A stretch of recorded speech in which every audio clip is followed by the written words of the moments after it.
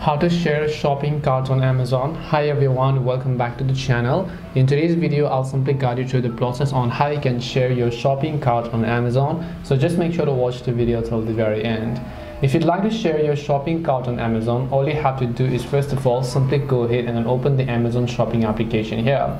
Now let's say that you have added multiple products to your cart and then you want to add those products and then you want to share them with your friends and family. Then what do you do in those cases?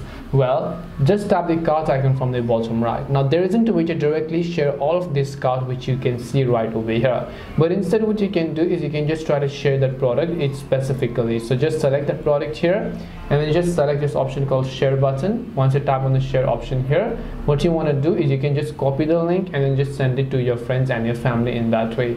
Otherwise what you can do is you can simply add them to your list, right? So you want to just come to the home page and then just create a list which means your list over here tap on create a list and then let's name this list let's say cart so I'm just going to name it a cart over here then I'm going to tap on create list option then I will add the products to this page over here or in this specific list. When I actually go ahead and add all the products from my cart to this list I can just invite people to view this list and view and edit and do whatever else I prefer.